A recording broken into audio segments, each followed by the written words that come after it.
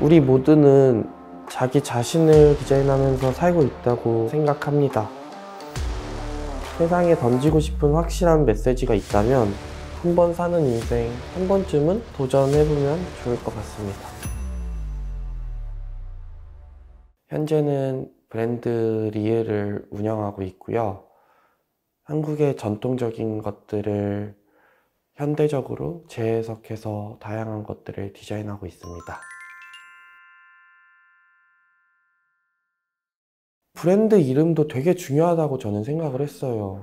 우리가 해외에 다녀보면 외국인 친구들이 갤럭시 핸드폰을 되게 많이 써요. 그러다 보면 어 이거 갤럭시 삼성 건데 삼성 한국 브랜드인데 나 한국인인데 우리나라가 잘 만든 제품들을 보면서 자부심을 느끼는 게 신기했고 또 한편으로는 왜 삼성이나 현대라는 이제 브랜드 명에 대해서 대화를 하다 보니까 저조차도 한복 원단으로 정장을 만들어서 외국인을 입히려고 하다 보니까 브랜드 이름도 한국적이었으면 좋겠다라는 생각을 되게 많이 했어요. 근데 영어보다 더 많이 쓰는 게 아라비아 숫자잖아요.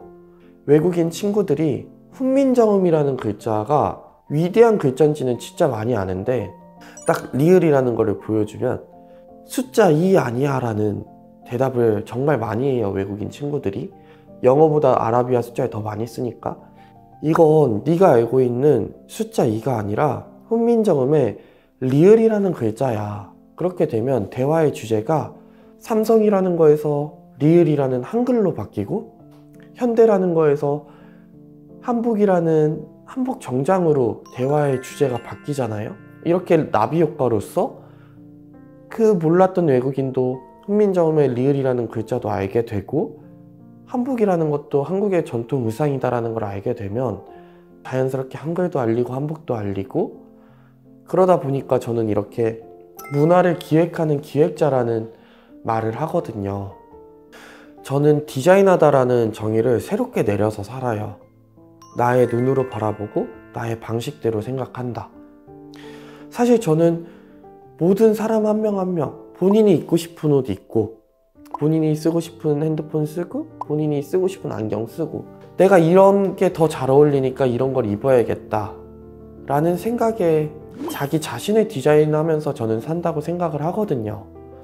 그러다 보니까 디자인하다라는 새로운 정의를 내려서 한복이라는 것도 한복 원단의 멋을 살려서 정장으로 표현을 하고 사진이나 영상도 저의 생각대로 표현을 하는 것처럼 저의 생각을 표현하면서 살다 보니까 문화 기획자라는 것도 디자이너라는 것도 저의 디자이너라는 정의 안에서는 하나의 같은 컨셉이라고 봐주시면 될 것 같습니다.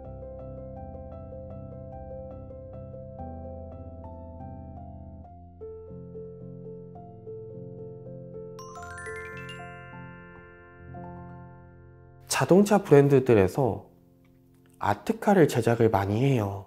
한창 K컬처가 이슈였잖아요. 그러다 보니까 맥라렌의 브랜드의 코리아 지사에서 리을 디자이너님 맥라렌 한국 edition을 만들고 싶습니다라고 연락이 와서 제가 생각했을 때 슈퍼카는 빨강색, 노란색, 초록색 진짜 화려한 색들을 많이 타거든요. 그러다 보니까 제가 아무리 화려한 색을 써도 눈에 띄지 않을 것 같았는데 수묵화라는 기법이 있잖아요. 저는 맥라렌이라는 브랜드의 자동차를 볼 때마다 동글동글해서 고려청자 같다는 생각을 좀 많이 했어요. 저는 고려청자를 보시면 학과 소나무가 있는데 학과 소나무에서 영감을 받아서 수묵화를 하나 그려서 외관에 이제 수묵화로 디자인을 하게 됐었는데 맥라렌 코리아도 글로벌 본사에 confirm을 받는데 어 이거 너무 아름답다. 정말 한국적이다 라는 피드백이 왔었고 맥라렌 본사에서 그럼 우리 내부까지 진행을 한번 해주라. 그렇게 하다 보니까 한국의 사계절을 담아봐야겠다. 그래서 실내에 센터페시아라고 하죠. 거기를 자개로 화려한 봄을 표현하고 시트를 초록색으로 한국의 여름을 표현하고 아까 그렸던 수묵화는 가을의 산에 표현하고 휠은 겨울을 표현하다 보니까 맥라렌이라는 자동차에 한국의 사계절을 입히는 정말 코리아 edition이 나오게 된 것 같습니다.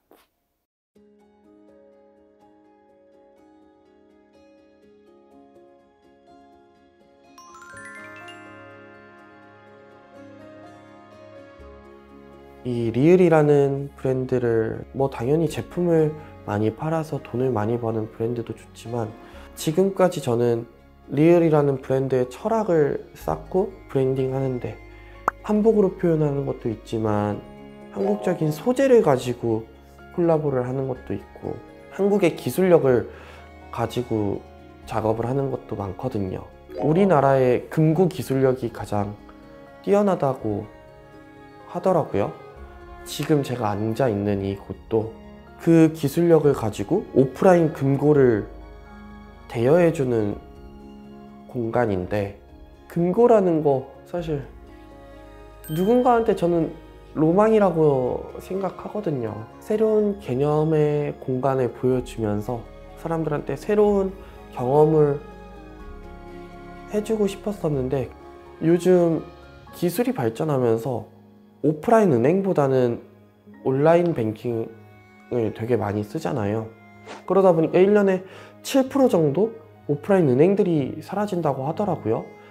그래서 자연스럽게 그 은행들의 금고를 사용하시는 분들이 은행이 없어지면 사용을 하지 못하다 보니까 아, 금고가 필요하겠구나. 한국의 좋은 기술력을 가진 이제 금고 회사와 협업을 해서 리을의 금고들을 만들어 놨거든요.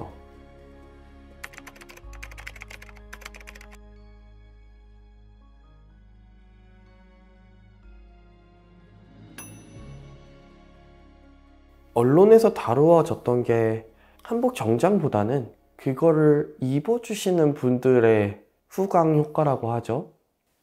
그거를 많이 받고 젊은 사람이 이런 한복도 만든다 라는 개념이 신기해서 자연스럽게 그렇게 노출이 많이 됐었던 것 같은데 제가 리을이라는 브랜드를 만들고 디자인 하다라는 철학도 2016년부터 꾸준히 있었던 거예요. 그 당시에도 한복 말고 정말 다양한 작업들을 많이 해왔거든요. 그래서 새롭지 않아요. 저에게는 한복은 운이 좋게 빠른 시간 안에 방탄소년단부터 대통령 그리고 주한 대사님들의 옷을 하게 됐던 거고 그 안에서 한국적인 걸 가지고 자동차나 건축물이나 텀블러나 다양한 것들을 앞으로도 계속 작업해 나갈 것입니다.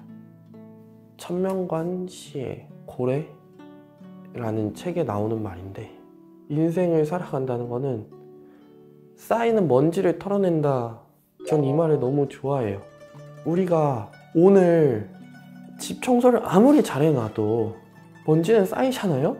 한 번 청소 잘했다고 끝나는 게 아니라 또 쌓이는 먼지를 치워야 되는 꾸준함도 있어야 되는 것 같고 이 먼지를 뭐 나쁜 일이라고 생각하면 나 나쁜 일 다 해결 잘했어 한다고 해서 내 인생에 나쁜 일이 안 생기는 건 아니거든요.